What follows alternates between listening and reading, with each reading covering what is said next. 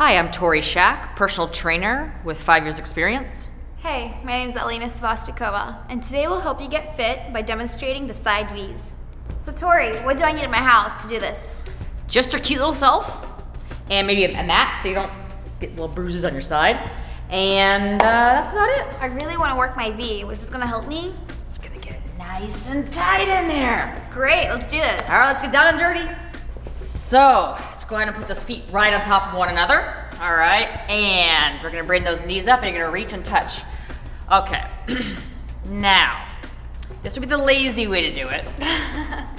the common mistake here is that she's not moving her upper body to meet her legs. So, yes, extend all the way out. Perfect. So she's coming up and Oh, down. I definitely feel the difference now. Yes, where do you feel the difference? Like right over here. Yes. Okay, so come up a little bit higher if you can. There we go. Now where do you feel it? And like over here. Okay, good. There we go. Very simple. Um, you want to do about 15 to 20 on each side, of course. Switch sides.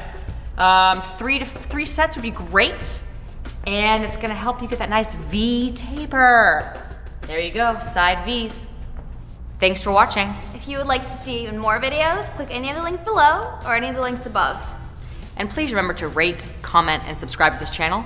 If you have any suggestions, send to requests at mahalo.com. Peace out.